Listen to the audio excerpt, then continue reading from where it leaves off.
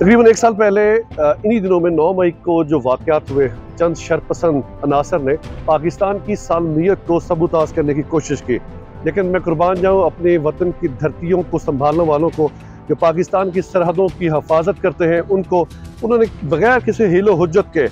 उनको देखा, फिर उनको परखा। और मैं ये चाहता हूँ कि हमारी आला अदलिया, फौजी अदालतें उन जो शरपसंद है, उनको कैफरे करदार तक पहुँचाए, जो पाकिस्तान को मैली आँख से देखेगा, खासकर हमारी अफवाज पाकिस्तान की तरफ़ उंगली उठाएगा, मैं चाहता हूँ उसको नेस्त नाबूद कर दिया जाए। नौ मई एक मॉप जो मेंटेलिटी लोगों के जहनों में है, एक बंदी की वजह से सारे लोग जमा होके और इस तरह के वाक़ातों में मुलविस होते हैं,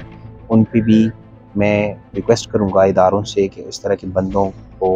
माफ़ न किया जाए और उनको कैफ़े कैफ़े किरदार तक पहुँचाया जाए। ये जो नौ मई का वाक़ था, ये बड़ा दिलखराश वाक़ था, जिसमें एक स्पेशल एक मखसूस पार्टी की तरफ़ से ना सिर्फ़ जो